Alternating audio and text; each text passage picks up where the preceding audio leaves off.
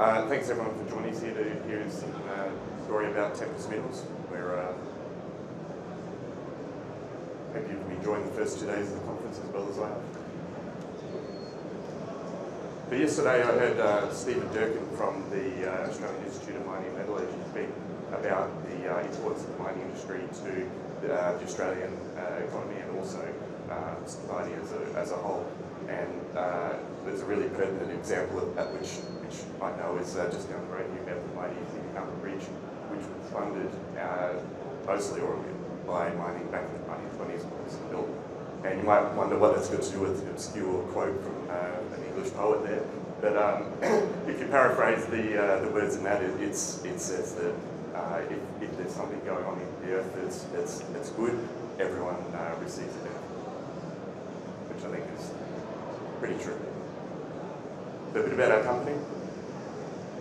Uh, we are a multi-commodity explorer and developer. We are looking for copper, gold and lithium in Western Australia, but we also have an international exposure to a number of projects. Uh, we'll talk about that later. We have uh, quite a, uh, I'll say, modest market cap at the moment, and uh, we have a lot of excitement coming up. Uh, we also have an amazing team. So uh, with me leading as CEO, I'm a geologist, uh, and I've worked on every continent and in a number of different environments. We've got uh, Brian Moller, who many of you may know in the crowd, who's quite high profile uh, as a chairman, and we've got a really supportive board and excellent management team. Sustainability is a key point of our business, and it's not just a stamp that we put on afterwards, like uh, I would say a, a lot of companies these days, but it's a very important part of business. We started our journey as a lithium explorer, and uh, so uh, from the start of everything we do, we, we include sustainability as an important part of that. And uh, that includes a strong environmental focus. We have excellent community relations with all the surrounding groups, uh, stakeholders in our, in our projects, and we also have, as I mentioned, an experience board which ensures that everything's done well, corporate governance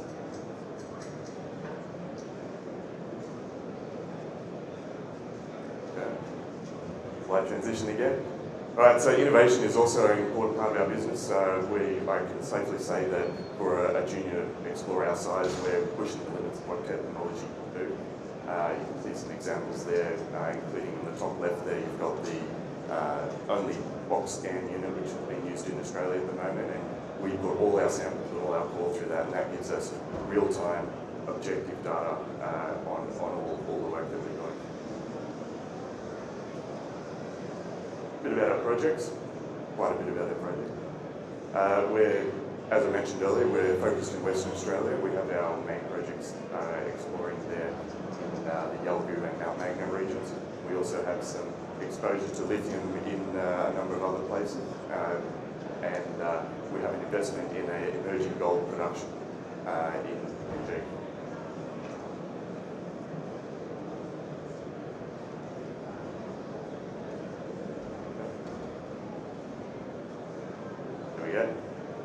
So our current exploration, uh, we're, as I mentioned earlier, Western Australia focused at the moment.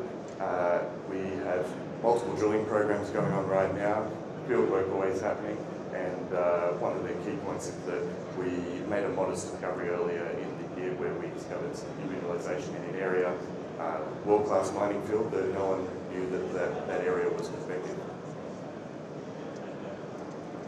That's Yalgoo. So some of you may know Yalgoo, most probably don't. It's, uh, it's a mere five hours drive north of Perth. Uh, it also has half a dozen world-class mines or mine development projects there on the screen. They're the large spheres. And we also have, uh, critically, excellent infrastructure. So we've got two highways, rail, power, water, telecoms. It's all there. It's very easy and very low barrier for doing work. And the key about Yalgoo is that it was, we called it the forgotten because there's, as you can see, a, a, large number of operations there already, but a lot of the uh, geology has been left behind in the past.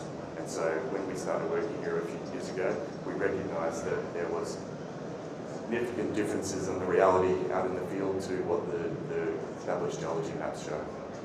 And that's been a great opportunity for us. So another uh, appearance from, from Bill.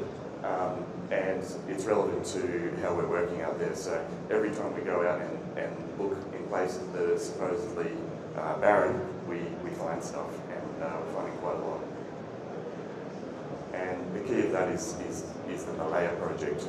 Um, and the top left there, can see Golden Grove, which is the, the giant copper, gold, zinc, lead, silver mine uh, run by 29 Metals. Uh, and uh, for 40 years on the left-hand side of the screen, everyone thought that the rocks continue down that way. But in actual fact, they continue around to the right-hand side of the screen where it says Orion, Clover, and Master.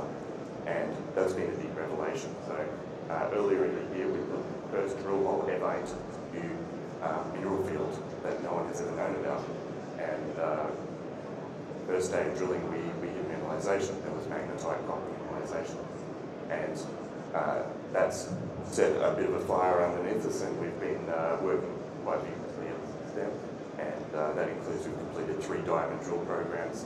Uh, finding mineralization in basically every hole, uh, and three different types of mineralization. So there's almost certainly MS, uh, some sort of other mineralization we yet to classify, and there's also uh, what we're perceiving possibly to be a skarn or porphyry type alteration underlying everything.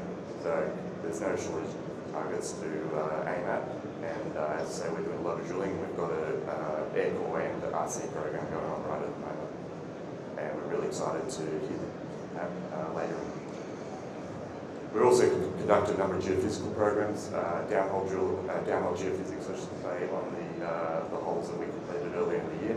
And we've also just done a EPR survey, which has come up with 250 potential targets for us to drill. So it's, uh, the, as I mentioned earlier, technology is important for what we're doing, and uh, uh, that's how we're ranking and deciding what we do first. Here's a nice video showing some of the work we're doing at the moment up the site.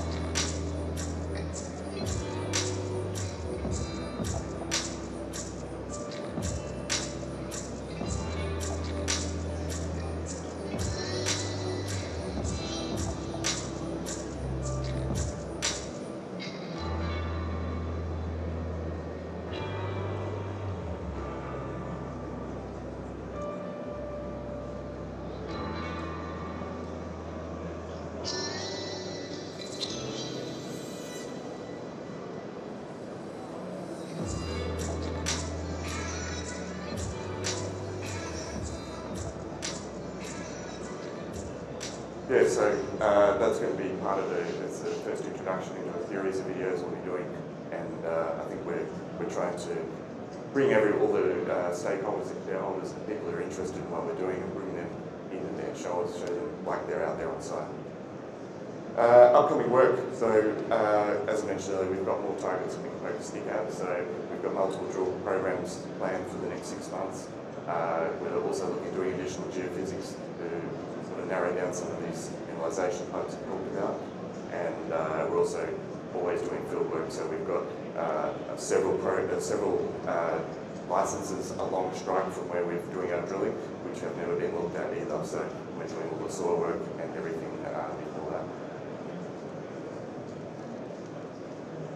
We also have a project in Mount Magnet, which I'll skip over quickly, uh, but needless to say that we're, we're mere kilometres away from uh, Ramelius resources uh, mill, and we have no mineralisation in underground workings that were never recorded on the, the government system. And the waste dumps of those are going multiple grams per tonne, so we're certainly excited to get in there and do some drilling work and, and prove up some resources. I mentioned earlier that we uh, have an investment in PNG pro uh, projects. Uh, there's a company called Mining. They're, they're currently rebranding to Poly Mining and the Tolukuma mine there, which produced 2 million ounces past, excuse me, and will be going back into production imminently.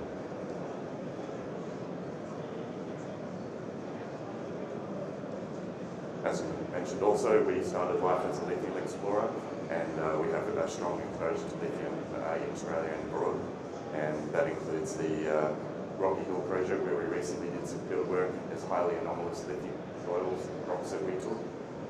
Uh, also we have a milestone payment on uh, Argosy and, and uh, equity holding African and Play. I uh, running out of time here, so I'll speed through, but there's a uh, quick uh, schedule of all our works coming up, and uh, as you can see, we're at IMARC right now, and we're drilling.